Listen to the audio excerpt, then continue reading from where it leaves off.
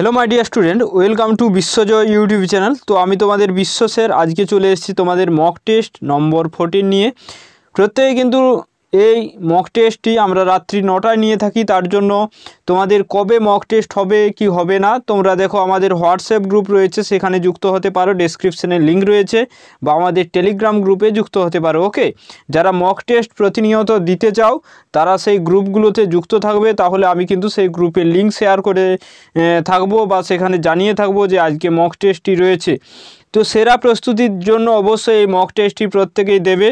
আর সেশনটিকে অবশ্যই একবার লাইক করে দাও প্রত্যেকেই এবং অবশ্যই কমেন্ট করবে কেমন লাগল অবশ্যই সেশনটি শেষে এবং অবশ্যই শেয়ার করে দিও বন্ধুদের সঙ্গে। সে সঙ্গে দেখে নাও, যারা অ্যাডমিশন হতে চাইছো, এখন অ্যাডমিশন হতে পারছ না কোনো কারণবশত, একলব্য পার্ট টু ব্যাচ আমাদের শুরু হয়ে গিয়েছে বিশে ডিসেম্বর থেকে, কয়েকটি ক্লাস হয়ে গিয়েছে। তোমরা যারা অ্যাডমিশন হতে চাও অ্যাডমিশন হতে পারো, যে বিগত ক্লাসগুলো তোমরা রেকর্ড পেয়ে যাবে পিডিএফ নোটস পেয়ে যাবে ওকে এবং প্র্যাকটিস সেট যেগুলো আমরা করিয়েছি, সেই প্র্যাকটিস সেট পেয়ে যাবে। তো তোমরা আমাদের পেড ব্যাচে অ্যাডমিশন হলে কি কি পাবে দেখে নাও। তোমাদের এসএসসির যে টেন ইয়ার্সের কোশ্চেন সে কোশ্চেন অনুযায়ী তোমাদের গাইড করানো হবে। তোমাদের একটা সম্ভাব্য ধারণা হবে যে কি কি কোশ্চেন আসতে পারে এবং তোমাদের কিন্তু এসএলএসটি ক্র্যাক করার ক্ষেত্রে কিন্তু অবশ্যই অনেকটা হেল্পফুল হবে। এবং এসএসসি শিক্ষকতা করার বিশেষ করে তোমাদের যাদের সাবজেক্ট বাংলা, তাদের ক্ষেত্রে কিন্তু খুবই খুবই একটা সুবর্ণ সুযোগ এই কোর্সটিতে দেখে নাও। সপ্তাহে তোমাদের তিন দিন ক্লাস থাকবে। সেটি হচ্ছে সোমবার থাকবে, বৃহস্পতিবার, সঙ্গে থাকবে শনিবার, সন্ধে সাতটা থেকে ক্লাসটি রাখা হয়েছে এবং ব্যাকরণের উপর বিশেষ জোর দেওয়া হয়, একেবারে তোমাকে জিরো লেভেল থেকে কিন্তু শেখানো হবে। ব্যাকরণের যদি তুমি কিছু নাও শিখে থাকো, কোনো অসুবিধা হবে না। সে সঙ্গে প্রত্যেকটা ক্লাসের সঙ্গে সঙ্গে প্র্যাকটিস সেট রয়েছে, উন্নত মানের সাহিত্যের ইতিহাসের। ঠিক আছে? অনুবাদ অনুষঙ্গ প্রাচীন যুগ মধ্যযুগ প্রত্যেকটা টেক্সট থেকে তোমাদের বুঝিয়ে দেওয়া হবে, কোন কোন টপিকগুলো তোমাদের পড়তে হবে। এবং সাহিত্যের ইতিহাস, প্রাচীন যুগ মধ্যযুগ আধুনিক যুগ, অনুবাদ অনুষঙ্গ সম্পূর্ণ পিডিএফ নোটস পেয়ে যাবে। অর্থাৎ তোমাদের এক্সামের জন্য যতটুকু পড়তে হবে সেটা কিন্তু তোমরা পেয়ে যাবে। সারা সপ্তাহ ডাউট ক্লিয়ারিং রয়েছে। ঠিক আছে? গ্রুপে বা আমার সঙ্গে ফোন করলে তোমরা ডাউট ক্লিয়ার করতে পারো। এসএসসিতে কী ধরনের প্রশ্ন হয়? প্রত্যেকটা টপিক ধরে ধরে কিন্তু আমি তোমাদের বলে দেবো। প্রত্যেকটা টপিক থেকে সম্ভাব্য কোশ্চেনগুলো দেখে নাও। কোর্স ফি রয়েছে সকলের কথা মাথায় রেখে কোর্স ফিটি রাখা হয়েছে মাত্র আটশো নিরানব্বই টাকা। যে কোনো কোচিং সেন্টারের থেকে পাঁচ ছ গুণ টাকা কম। যারা অ্যাডমিশন হতে চাও, মাত্র দু থেকে তিন মাসেই তুমি কিন্তু এই কোর্সটি কমপ্লিট করতে পারবে। অর্থাৎ তোমার কাছে স্টাডি মেটেরিয়াল সম্পূর্ণ কিন্তু এই তিন মাসের মধ্যে তুমি সমস্ত স্টাডি মেটেরিয়াল পেয়ে যাবে। যোগাযোগ নম্বর রয়েছে হোয়াটসঅ্যাপ নম্বর রয়েছে, কেউ না দেরি করে অবশ্যই আমাদের একলব্য পার্ট টু ব্যাচে অ্যাডমিশন হতে পারো, ঠিক আছে? তোমাদের আটশো নিরানব্বই টাকা কোর্স মাত্র সকলে অ্যাডমিশন হয়ে যাবে। আর এই ধরনের ফ্রি তোমরা মক টেস্ট আমাদের ইউটিউব চ্যানেলে পেয়ে যাবে। দেখে নাও তোমাদের যে প্রথম লাইনটি রয়েছে ঠিক আছে? তোমাদের একটি কবিতা থেকে রয়েছে এই মক টেস্টে টোটাল যে কয়েকটি কোশ্চেন রয়েছে, প্রত্যেকে অ্যান্সার করবে লাইভ জেটে ওকে আর সেশনটি যারা এখনও বন্ধুদের সঙ্গে শেয়ার করনি, অবশ্যই শেয়ার করবে এবং একটি লাইক দিতে ভুলবে না। ঠিক আছে? প্রত্যেকে লাইক দিয়ে দিও একটি। দেখে নাও, নতুন হতেম প্রণামে। তো এখানে তোমাদের কবিতার ক্ষেত্রে এটি কিন্তু নতুন হতেমটা হলেম হবে ওকে এখানে তোমাদের কিছুটা প্রিন্টিং মিস্টেক হয়েছে বলতে পারো, যে মূল কাব্যগ্রন্থ সেখানে রয়েছে নত- নতুন হলেম প্রণামে। তো এখানে এই যে পংক্তিটি কোন কবিতার অন্তর্গত? তোমাদের এই ধরনের লাইন তুলে তুলেই কিন্তু এসএসসিতে কোশ্চেন হবে ওকে তাহলে এটি কোন কবিতার অংশ? এই তার পরিচয়, কবিতা সিংহ। আমরা সত্যেন্দ্রনাথ দত্ত, বেতারবাসী, জসিমউদ্দিন, না ঘর অমিয় চক্রবর্তী। তো তোমাদের এই কবিতাটি, ঠিক আছে, অর্থাৎ এই তোমাদের চরণটি, এটি কিন্তু ঘর কবিতার অংশ। তো ঘর কবিতা হচ্ছে খসড়া কাব্যগ্রন্থের অন্তর্গত। তাই তো? এগুলো তোমরা জেনে রাখো, যারা জানো না, লিখে রাখতে পারো। সে সঙ্গে দেখে নাও, এই তার পরিচয় কবিতা সিংহের লেখা। কবিতা সিংহের ছদ্মনাম কি বলতো? সুলতানা চৌধুরী। তাই তো? এই ছদ্মনামটা বিভিন্ন কম্পিটিটিভ এক্সামে আসতে পারে এবং তোমাদের এসএসসির ক্ষেত্রেও কিন্তু খুব গুরুত্বপূর্ণ। এবং এই তার পরিচয়, এটি কিন্তু সহজ সুন্দরী কাব্যগ্রন্থের অন্তর্গত, এটাও কিন্তু আমাদের জানতে হবে।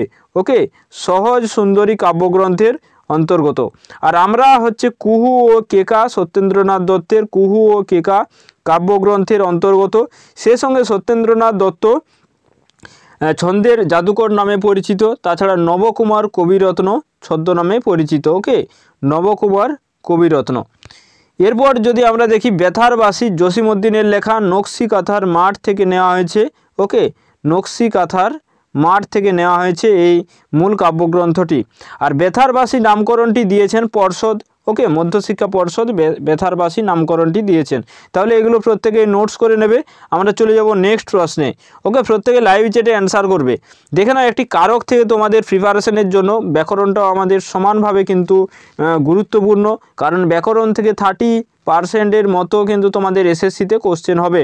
অর্থাৎ তুমি এসএসসিতে তিরিশটি কোশ্চেন পাবেই, ব্যাকরণ থেকে তিরিশটি পাবেই মিনিমাম যদি নব্বইটা কোশ্চেন হয়ে থাকে, তো সংকোচের বিহলতা নিজের অপমান, কারক নির্ণয় করতে বলা হয়েছে সংকোচের তলায় দাগ। ওকে তো তোমাদের এটি কি কারক হবে দেখে নাও। কর্তৃ হবে, কর্ম হবে, সম্বন্ধ হবে না সম্বোধন হবে। তো দেখে নাও, আমরা এক একটি এলিমিনেট করে নেব। তাহলে দেখে নাও, সম্বোধন হচ্ছে না, কারণ এটা কোনো আহ্বান করা হচ্ছে না বা কাউকে ডাকা হচ্ছে না সংকোচ শব্দের দ্বারা। তো এটি কর্তৃও নয়। কারণ দেখে নাও, নিজের অপমান, ঠিক আছে? এটা যেহেতু কবিতার লাইন, তো কি রয়েছে যে নিজের অপমানটা বিহলতা বিহলতা হলো নিজের অপমান। তো এখানে কর্ম হবে না, তাহলে বিহলতাটা কিসের? সংকোচের। তাহলে সংকোচ শব্দের সঙ্গে এর বিভক্তি রয়েছে, তাই তো? তাহলে এটি কিন্তু তোমাদের সম্বন্ধ পদ হয়ে যাবে। কারণ এই সংকোচটা হচ্ছে তোমাদের অকারক পদ ওকে তাহলে এটি সম্বন্ধ পদ হয়ে যাবে। ক্লিয়ার প্রত্যেকে চলো নেক্সট কোশ্চেনে দেখে নাও। নেক্সট কোশ্চেন কোশ্চেনটা হলো, বিচিন্তা উনিশশো পঞ্চান্ন খ্রিস্টাব্দে প্রকাশিত হয়। গ্রন্থটি কার লেখা? রবীন্দ্রনাথ ঠাকুর, বঙ্কিমচন্দ্র চট্টোপাধ্যায়, পরশুরাম না বনফুল? তো তোমাদের অ্যান্সার করতে হবে লাইভ চ্যাটে চটপট অ্যান্সার করবে, তোমাদের কিন্তু বেশি সময় দেয়া হবে না ওকে তাহলে বিচিন্তা গ্রন্থটি কার লেখা? এটি কিন্তু পরশুরাম যারা করেছ, প্রত্যেকেরই সঠিক। তো এই বিচিন্তা উনিশশো পঞ্চান্ন খ্রিস্টাব্দে প্রকাশিত হয়েছিল। পরশুরামের প্রকৃত নাম কি বলতো রাজশেখর বসু, তাই তো? এটিও এক্সামে বিভিন্ন এক্সামে এসে থাকে, তোমাদের এসএসসিতেও আসতে পারে, রাজশেখর বসু। তো রাজশেখর বসুর তোমাদের যদি প্রথম প্রকাশিত যে গল্পটি, সেটা দেখতে পারো শ্রী শ্রী সিদ্ধেশ্বরী লিমিটেড। এই আনুষঙ্গিক প্রশ্নগুলো তোমাদের সঙ্গে কেন কেন আলোচনা করে দিচ্ছি? কারণ এগুলো যদি তোমাদের আলোচনা করে দিই, তাহলে এই ধরনের কোশ্চেন যদি তোমাদের এক্সামে আসে, তাহলে কিন্তু তোমাদের ঠোঁটে ঠোঁটে উত্তরটি থাকবে। তাহলে শ্রী শ্রী সিদ্ধ সিদ্ধেশ্বরী লিমিটেড হবে। ওকে আর এটি কিন্তু তোমাদের ভারতবর্ষ পত্রিকায় প্রকাশিত হয়েছিল, যেটা প্রথম প্রকাশিত গল্প। ভারতবর্ষ পত্রিকায় প্রকাশিত হয়েছিল। এগুলো তোমাদের জানতে হবে। সে সঙ্গে পরশুরামের যদি তোমরা দেখে নাও যে প্রথম গল্প গ্রন্থ কোনটা, সেটা কিন্তু গড্ডালিকা। এগুলো আমাদের জানতে হবে। তাই তো? গড্ডালিকা, যেটি প্রকাশিত হয়েছিল উনিশশো চব্বিশে। ওকে, আর রবীন্দ্রনাথ ঠাকুরের যে প্রবন্ধটি রয়েছিল, এটা কিন্তু এটা কিন্তু পরশুরামের গল্পগ্রন্থ। বিচিন্তাটা হলো পরশুরামের গল্পগ্রন্থ। এবং বিচিত্র প্রবন্ধ বলে বিচিত্র প্রবন্ধ বলে রবীন্দ্রনাথ ঠাকুরের একটি কিন্তু প্রবন্ধ গ্রন্থ রয়েছে। ওকে? যেটির প্রকাশকাল যেটির প্রকাশকাল কিন্তু উনিশশো সাত। এগুলো আমাদের জানতে হবে। মানে সেই গ্রন্থের নাম অনুসারে বা সেই ধরনেরই অন্য কোন কোন লেখকের গ্রন্থ রয়েছে, এগুলো কিন্তু আমাদের জানতে হবে। নেক্সট আমরা চলে যাব, দেখে নাও। ভাববাচ্যের কর্তায় যুক্ত হয় র বিভক্তি এ বিভক্তি, অন্তস্থ এ বিভক্তি না তে বিভক্তি। প্রত্যেকেই চটপট অ্যান্সার করো। চটপট অ্যান্সার করো, কয়েক সেকেন্ড সময় দিলাম তোমাদের। তো আমি তোমাদের তার আগে একটা উদাহরণ দিচ্ছি, তাহলে তোমরা বুঝতে পারবে। দেখে নাও, আমরা যদি কর্তৃবাচ্যে করি যে তুমি তুমি বিকেলে, তাহলে তোমরা বুঝতে পারবে, ঠিক আছে? উদাহরণটা দেখে নাও। তুমি বিকেলে বেড়াইবে ওকে তো এটাকে যদি আমরা ভাব বাচ্চে নিয়ে আসি, তাহলে কি হবে বলো তো এখানে দেখে নাও, তুমিটা কর্তা, তাই তো?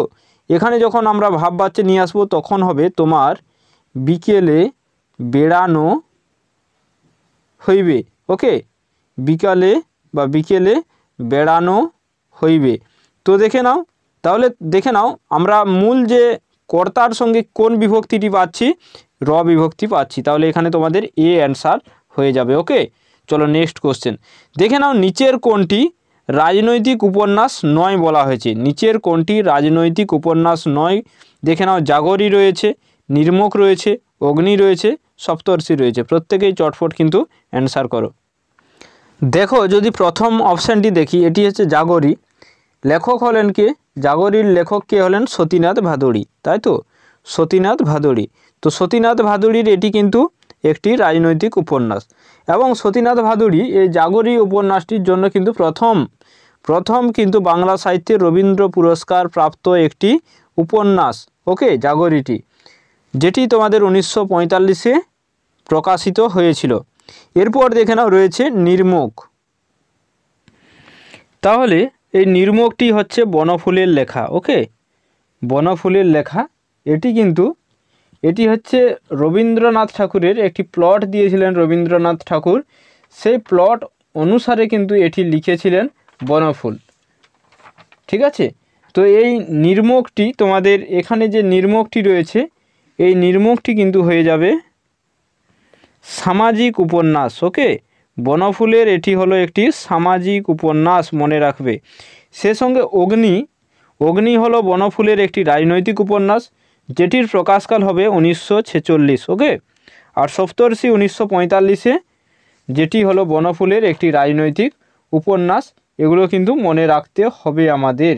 প্রত্যেকটাই কিন্তু আমাদের মনে রাখতে হবে, ঠিক আছে? অগ্নি উনিশশো ছেচল্লিশ, সপ্তর্ষি উনিশশো, তোমাদের পঁয়তাল্লিশ। চলো নেক্সট কোশ্চেনে চলে যাব। তাহলে একটি কোশ্চেন থেকে দেখে নাও, আমরা কতগুলো কোশ্চেন পেলাম, তাই তো? এগুলো তোমরা নোটস করে নেবে ওকে নেক্সট দেখে নাও রয়েছে, আমাকে রাগাস না। এখানে কোন ক্রিয়া রাগাসটা ওকে রাগাস রয়েছে। তো এখানে দেখে নাও যে রাগাস, আমরা যদি দেখি যে মূল কি রয়েছে বলো তো রাগ রয়েছে। রাগ রয়েছে মূল যে শব্দটি, সেটি রয়েছে রাগ। তাহলে এই রাগটি হলো একটি নামপদ, ওকে? রাগটি হলো একটি নামপদ। তাহলে নামপদের সঙ্গে যখন বিভক্তি যোগ হয়, ওকে?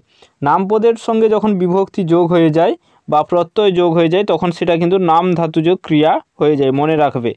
ওকে? চলো নেক্সট কোশ্চেনে আমরা চলে যাব। নেক্সট কোশ্চেন দেখে নাও। বঙ্কিমচন্দ্র চট্টোপাধ্যায়ের বন্দে মাতরম গানটি কোন উপন্যাসে রয়েছে? আনন্দমঠ, দেবী চৌধুরানী, রায়সিংহ না রজনী? প্রত্যেকে চটফট অ্যান্সার করো। তোমরা অ্যান্সার করো, আমি সেই সঙ্গে প্রকাশকালগুলো তোমাদের বলে দিচ্ছি, ঠিক আছে? আনন্দমঠ হবে আঠারোশো বিরাশি বঙ্গাব্দে সরি খ্রিস্টাব্দে প্রকাশিত হয়। দেবী চৌধুরানী ত্রয়ী উপন্যাসের দ্বিতীয় নম্বর উপন্যাস, যেটি হচ্ছে আঠারোশো চুরাশি। আর ত্রয়ী উপন্যাসের আরেকটি উপন্যাস রয়েছে, সেটি হলো সীতারাম। ওকে, সেটি হচ্ছে আঠারোশো সাতাশি। এরপর রাজসিংহ একটি ঐতিহাসিক উপন্যাস, তাই তো? যেটি প্রকাশিত হয়েছিল আঠারোশো বিরাশি। আর রজনী রজনী একটি ছোট গল্প মানে সরি, একে একটি গল্প বলা যেতে পারে, বড় গল্প। একে যদিও বঙ্কিমচন্দ্র চট্টোপাধ্যায় একে কিন্তু উপন্যাস বলেছেন। এটির প্রকাশকাল হলো আঠারোশো সাতাত্তর। তো এই এই চারটিই এই চারটিই কিন্তু বঙ্গদর্শন পত্রিকায় প্রকাশিত হয়েছিল, এটাও কিন্তু তোমাদের জানতে হবে। আর সীতারামটা শুধুমাত্র প্রচার পত্রিকায় প্রকাশিত হয়েছিল, এগুলো নোটস করে নেবে, কারণ এই ধরনের কোশ্চেন কিন্তু তোমাদের এসএসসিতে আসার সম্ভাবনা প্রবল রয়েছে। তাহলে বন্দে মাতরম গানটি কোন উপন্যাসে রয়েছে, এটা কিন্তু আনন্দমঠ যারা করেছ, প্রত্যেকেরই কিন্তু সঠিক উত্তর। ওকে আনন্দমঠ উপন্যাসে কিন্তু এই গানটি লক্ষ্য করা যায়। বন্দে মাতরম গানটি। ওকে এবং সেই সঙ্গে আনন্দমঠ সম্পর্কে তোমাদের জানতে হবে যে সেটি কিন্তু সন্ন্যাসী বিদ্রোহের সময় রচিত সেই পটভূমিতে।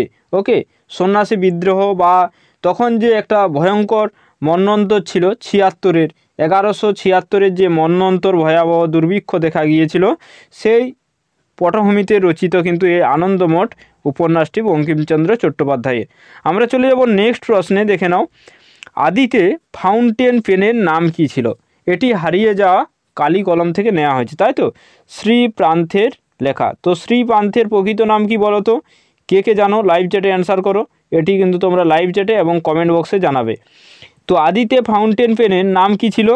বলো তো, ঝর্ণা কলম, রিজার্ভার পেন, পাইলট না সেফার্ট হবে? এটি কিন্তু হয়ে যাবে আদিতে ফাউন্টেন পেনের নাম ছিল রিজার্ভার পেন, তাই তো? ওয়াটারম্যান ওয়াটারম্যান এই রিজার্ভার পেনকে কি করেছিলেন? উন্নত মানের ফাউন্টেন পেন করেছিলেন, তাই তো? আর ফাউন্টেন পেনকে বাংলাতে রবীন্দ্রনাথ ঠাকুর ঝর্ণা কলম বলেন বলে মনে করা হয়। ওকে, চলো নেক্সট কোশ্চেন এই ধরনের কোশ্চেন কিন্তু এসএসসিতে আসতে পারে। দেখে নাও, অতিমাত্র বেশ বাক্য করো। প্রত্যেকেই লাইভ চ্যাটে অ্যান্সার করবে। প্রত্যেকেই লাইভ চ্যাটে অ্যান্সার করবে। যারা শেয়ার করনি, অবশ্যই ক্লাসটি শেষে কিন্তু ভিডিওর লিঙ্কটি বন্ধুদের সঙ্গে শেয়ার করে দেবে। ঠিক আছে? তোমরাই আমাদের গর্ব, ঠিক আছে? আমাদের কিন্তু এসএলএসটি ক্র্যাক করতেই হবে এবার। ঠিক আছে? দু হাজার তেইশেই কিন্তু তোমাদের এক্সাম হবে, বাইশে যেহেতু হয়নি, কোনো কারণবশত দু হাজার তেইশে কিন্তু এক্সাম হওয়ার সম্ভাবনা প্রবল রয়েছে এই ফেব্রুয়ারি, মার্চের মধ্যেই। তো এখানে অতিমাত্র যদি আমরা বেশ বাক্য করি, কী হবে বলো তো মাত্রাকে অতিক্রম না করে, মাত্রাকে অতিক্রম না করে হবে। তাহলে এটি কিন্তু অব্যয়ীভাব সমাস হয়ে যাবে, ওকে? এগুলো আমাদের জানতে হবে। তো অব্যয়ীভাবে কি হয় বলো তো? অব্যয়ীভাবে কিন্তু পূর্বপদের অর্থটি প্রাধান্য পায়। তো এখানে যে অতীতে অতীতে অতিটা হলো একটি তোমাদের উপসর্গ। এটি হচ্ছে তোমাদের কিন্তু পূর্বপদ এবং পূর্বপদের অর্থটি কিন্তু এই অব্যয়ীভাব সমাসের ক্ষেত্রে প্রাধান্য পায়। নেক্সট দেখে নাও, সুড়ঙ্গ ও প্রতিরক্ষা উপন্যাসটি কার লেখা? দেখো, তোমরা মাথা চুলকিয়ে চুলকিয়ে তোমরা বিরক্ত হলেও কিন্তু এই অ্যান্সারটি কোথার থেকে নেওয়া হয়েছে, তোমরা কিন্তু কেউ অনুমান করতে পারবে না। ওকে কেউ অনুমান করতে পারবে না কোথা থেকে নেওয়া হয়েছে। কারণ দেখো, এটি কিন্তু তোমাদের পাঠ্য যে রয়েছে, তোমাদের পাঠ্য কবিতা যেটি রয়েছে, অস্ত্রের বিরুদ্ধে গান, সেই অস্ত্রের বিরুদ্ধে গান কবিতার কবিতার লেখক ছিলেন জয় গোস্বামী ওকে তো জয় গোস্বামী তোমাদের কিন্তু কাব্য সাহিত্যে আধুনিক যুগ থেকে কিন্তু বা প্রবন্ধ সাহিত্য বলো, এখান থেকে কিন্তু নেই সাহিত্যিকদের মধ্যে। কিন্তু তোমাদের টেক্সট থেকে এই ধরনের কোশ্চেন হতে পারে। অর্থাৎ অস্ত্রের বিরুদ্ধে গান কবিতাটি লিখেছিলেন জয় গোস্বামী। তো তোমাদের সেখানে কবি পরিচিতিতে কিন্তু রয়েছে এই সুরক্ষা সরি সুরঙ্গ ও প্রতিরক্ষা, যেটি একটি জয় গোস্বামীর একটি উপন্যাস ওকে এটি কিন্তু জয় গোস্বামীর মনে রাখবে। আর সেই সঙ্গে তোমরা মনে রাখতে পারো যে অস্ত্রের বিরুদ্ধে গান, এটি কিন্তু পাতার পোশাক কাব্যগ্রন্থের অন্তর্গত। এগুলো আমাদের মনে রাখতে কিন্তু হবেই। আমাদের এসএসসি জব পেতে হলে এগুলো আমাদের মনে রাখতে হবে। তাই তো? চলো নেক্সট কোশ্চেনে চলে যাব। দেখে নাও রয়েছে, ভাইয়ে ভাইয়ে ঝগড়া করে কারক নির্ণয় করো। এখানে ভাইয়ে ভাইয়ের তলায় দাগ, এটাকে আমরা কি বলব? দেখে নাও, সহযোগী কর্তা রয়েছে উজ্জ্ব কর্তা রয়েছে, বেতিহার কর্তা রয়েছে, প্রযোজক কর্তা রয়েছে। তো তোমাদের এক একটা উদাহরণ বলব সে সঙ্গে বুঝিয়েও দেব ক্লাসটি ঠিক আছে? এই ধরনের ব্যাকরণ বা সাহিত্যের ইতিহাসের কি কি এসএসসিতে পড়বে, না পড়বে, তার জন্য আমাদের পেট বেচে এডমিশন হতে পারো। ঠিক আছে? খুব ভালোভাবে গাইড করা হয়। দেখো, এটি তো সহযোগী কর্তা কি হচ্ছে? ঝগড়া রয়েছে। ঝগড়া তো সহযোগিতা কি হচ্ছে? হচ্ছে না। তাহলে এটি ভুল হবে। যদি সহযোগিতা কর্তার উদাহরণ দেখো, তাহলে হচ্ছে বাঘে গরুতে এক ঘাটে জল খাচ্ছে। এখানে বাঘে গরুতে হবে কিন্তু সহযোগী কর্তার উদাহরণ ওকে আর উজ্জ্বকর্তা, বই পড়ো, এখানে তুমি বা তুমি, তুমিটা উজ্জ্ব রয়েছে, এগুলো হচ্ছে উজ্জ্বকর্তা। আর বেতিহার কর্তার ক্ষেত্রে কি হয় বলো তো? বেতিহার কর্তার ক্ষেত্রে কিন্তু ক্রিয়া বনি, বিনিময় বোঝায়, ঠিক আছে? অর্থাৎ দেখে নয় যে এখানে ঝগড়া করছে, অর্থাৎ তুমি একাই কি ঝগড়া করতে পারবে? তার জন্য দুজনকে প্রয়োজন। তার জন্য ভাইয়ে ভাইয়ে ঝগড়া করে, রাজায় রাজায় যুদ্ধ করে এই ধরনের উদাহরণগুলো কিন্তু বেতিহার কর্তা। আর প্রযোজক কর্তা কী হবে বলো তো? মা শিশুকে, তাই তো? মা শিশুকে চাঁদ দেখায়। এখানে প্রযোজক হলো মা। এইগুলো হচ্ছে তোমাদের প্রযোজক কর্তা। তাহলে এখানে অপশান সি হবে কিন্তু সঠিক উত্তর। ওকে ক্লিয়ার সকলের? চলো নেক্সট কোশ্চেনে দুর্গাপুর থেকে সাবলতলার মাঠ দূরত্ব কত?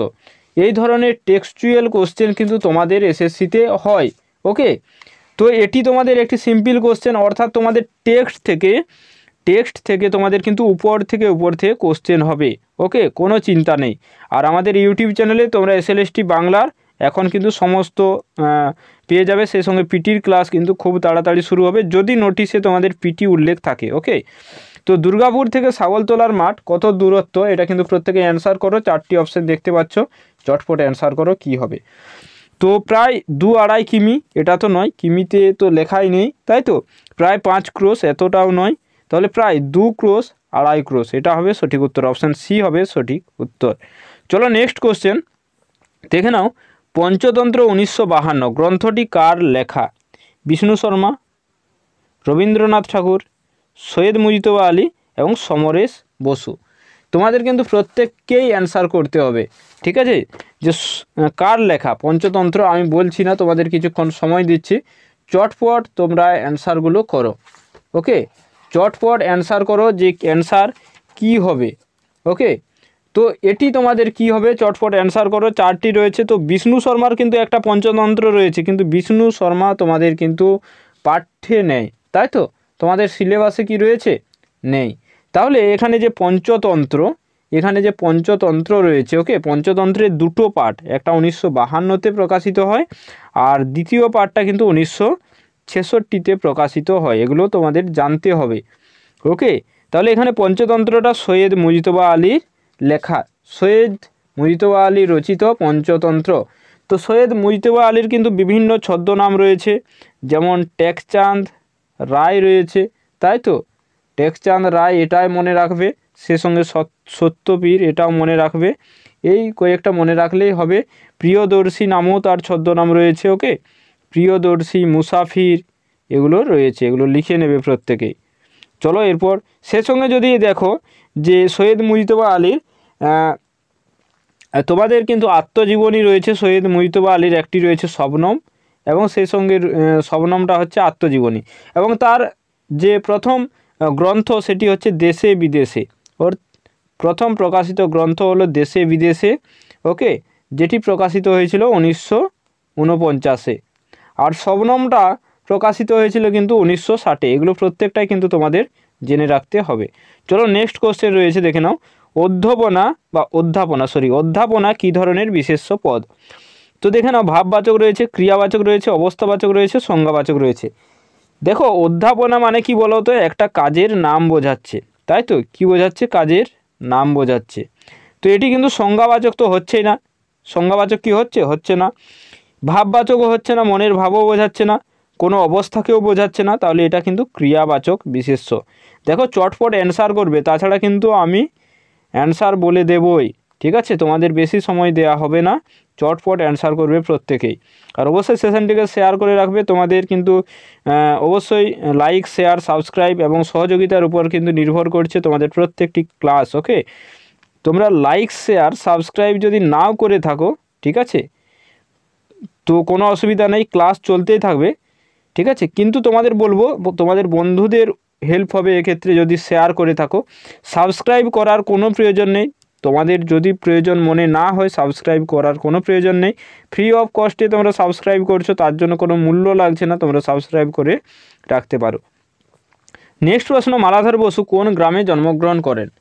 চটপট অ্যান্সার করো। প্রাচীন যুগ থেকে কিন্তু তোমাদের কি কি কোশ্চেন হবে তোমরা যদি বলো, তাহলে কিন্তু অবশ্যই তোমাদের প্রত্যেকটা টপিক থেকে বলে দেবো যে, এই টপিক থেকে তোমাদের কি পড়তে হবে, ঠিক আছে? যদি তোমরা কমেন্টে আজকের ভিডিওর পর যদি তোমরা কমেন্টে বলো স্যার প্রাচীন যুগ থেকে বলে দিন যে, প্রত্যেকটা টপিক থেকে কোন, কোনগুলো আসবে, ঠিক আছে? তাহলে অবশ্যই কিন্তু জানিয়ে দেব। তাহলে কুলিন গ্রাম, কায়স্থ গ্রাম কান্দড়া গ্রাম না বিসফি গ্রাম, ঠিক আছে? তো প্রথমে তোমাদের জানতে হবে, মালাধর বসু কিন্তু পঞ্চদশ শতাব্দীর কবি। পঞ্চদশ শতাব্দীতে তিনি বর্তমান ছিলেন এবং তিনি হচ্ছেন চৈতন্য পূর্বযুগের। অর্থাৎ চৈতন্য দেবের আবির্ভাবের পূর্বে তার যেহেতু আবির্ভাব, তাই তিনি চৈতন্য পূর্বযুগের কবি এবং তার পিতার নাম ভগীরথ, এগুলো জানতে হবে। আর মাতার নাম হলো ইন্দুমতি, ওকে? মাতার নাম হলো ইন্দুমতি। তো তিনি যে গ্রামে, তিনি হচ্ছে বর্ধমান জেলার, ওকে? বর্ধমান জেলার তিনি কিন্তু কুলিন গ্রামে জন্মগ্রহণ করেছেন। তাহলে অপশান এ হবে সঠিক উত্তর। তো মালাধর বসুর যে রচনাটি, অর্থাৎ তিনি ভাগবত অবলম্বনে ভাগবতের দশম এবং একাদশ, ঠিক আছে? দশ এবং এগারো স্কন্ধের অনুসরণে তিনি কিন্তু রচনা করেন, অনুবাদ করেন শ্রীকৃষ্ণ বিজয়। এই কাব্যটি তিনি কিন্তু রচনা করেন। আর এসএসসিতে তোমাদের এই শ্রীকৃষ্ণ বিজয় থেকে দু হাজার ষোলোতে কোশ্চেন এসেছিল, তাই তো? যে প্রথম সন তারিখযুক্ত বাংলা কাব্য কোনটি? এটি হতো শ্রীকৃষ্ণ বিজয়। এসএসসি দু হাজার ষোলোয় তোমাদের কোশ্চেনটি এসেছিল। তাহলে অবশ্যই লাইক করবে, অবশ্যই শেয়ার করবে কমেন্ট করবে, ঠিক আছে? আর দেখে নাও পেড ব্যাচে যারা অ্যাডমিশন হতে চাও। আমাদের Eklavya part two batch start হয়ে গিয়েছে বিশেই ডিসেম্বর থেকে okay zero to hero batch তোমাদের নবম শ্রেণি থেকে একেবারে দ্বাদশ শ্রেণি পর্যন্ত ক্লাস হয়ে থাকছে। আমি তোমাদের বিশ্বসের তোমাদের ক্লাসগুলো হয়ে থাকে সোম, বৃহস্পতি এবং শনি ওকে সন্ধে সাতটাতে কারণ এসএসসি তোমাদের দু হাজার তেইশে তো হবেই, কারণ দু হাজার বাইশের মার্চে একটা সরি মেতে তোমাদের একটা নোটিফিকেশান দিয়েছিল। তার দ্বারা আমরা অনুমান করতে পেরেছিলাম যে দু হাজার বাইশে এক্সাম হবে, কিন্তু দু হাজার বাইশে কোনো কারণবশত যেহেতু হয়নি, তোমাদের দু হাজার তেইশেই কিন্তু ভোটের আগে হওয়ার কিন্তু প্রবল সম্ভাবনা রয়েছে। সপ্তাহে তোমরা তিন দিন ক্লাস পাবে ঠিক আছে? সন্ধ্যে সাতটা থেকে ক্লাস, প্রত্যেকটা ক্লাসের শেষে প্র্যাকটিস সেট করানো হবে, যেটা তোমাদের এসএসসির শিক্ষকতা করার, অর্থাৎ জবটি পাওয়ার ক্ষেত্রে কিন্তু এসএসসি ক্র্যাক করার ক্ষেত্রে তোমাদের অনেকটা হেল্প করবে। এবং ব্যাকরণের তোমাদের ব্যাকরণের বিশেষ জোর দেওয়া হয়, অর্থাৎ জিরো লেভেল থেকে তোমাদের কিন্তু প্রত্যেকটা টপিক খুব ভালোভাবে বোঝানো হবে। সাহিত্যের ইতিহাসের উন্নত মানের পিডিএফ নোটস পাবে, অর্থাৎ প্রাচীন যুগ, আধুনিক যুগ মধ্যযুগ ঠিক আছে? সমস্ত সাহিত্যের ইতিহাস অনুবাদ অনুষঙ্গ প্রত্যেকটি টপিকের উপর থেকে তোমরা কিন্তু পিডিএফ নোটস পেয়ে যাবে। অর্থাৎ এসএসসিতে তোমাদের কী ধরনের কোশ্চেন আসতে পারে, কতটুকু পড়তে হবে, না হবে সমস্ত এ টু জেড কিন্তু আমি তোমাদের সঙ্গে ডিসকাস করে দেবো, আলোচনা করে দেবো। এবং সারা সপ্তাহ ব্যাপী কিন্তু তোমাদের ডাউট ক্লিয়ারের ক্লাস হয়ে থাকে, ঠিক আছে? এবং এসএসসিতে কী ধরনের প্রশ্ন হয় টেক্সট থেকে কী ধরনের কোশ্চেন হবে, সাহিত্যের ইতিহাস থেকে অনুবাদ অনুষঙ্গ প্রাচীন যুগ মধ্যযুগ আধুনিক যুগ, ঠিক আছে? প্রত্যেকটা টপিক ধরে ধরে বলে দেওয়া হয় যে এসএসসিতে কী ধরনের প্রশ্ন হতে পারে, সম্ভাব্য যে প্রশ্নগুলো রয়েছে সেগুলো বলে দেওয়া হয়। যোগাযোগ নম্বর রয়েছে হোয়াটসঅ্যাপ নম্বর রয়েছে স্ক্রিনে দেখতে পাচ্ছ, যোগাযোগ করে নেবে। কোর্স ফি অল্প রয়েছে, সকলের কথা মাথায় রেখে যাতে তোমরা সকলে এডমিশন হতে পারো। আটশো নিরানব্বই টাকায় তুমি সম্পূর্ণ কোর্সটি কমপ্লিট করতে পারবে, দু থেকে তিন মাসের কোর্স ওকে যারা এখনও এডমিশন হওনি, চটপট এডমিশন হয়ে যাও এবং তোমাদের এস এসএলএসটি বেঙ্গলির যে সমস্ত বন্ধুরা রয়েছে, তাদেরকে শেয়ার করে দাও অবশ্যই ভিডিওটি ঠিক আছে? তাহলে তারাও অনেকটা হেল্প পাবে, কারণ এত কম মূল্যে তোমরা কোথাও কিন্তু গাইড পাবে না। Thank you so much for watching অবশ্যই সঙ্গে থেকো। দেখা হচ্ছে নতুন আরেকটি মক টেস্ট নিয়ে। Thank you so much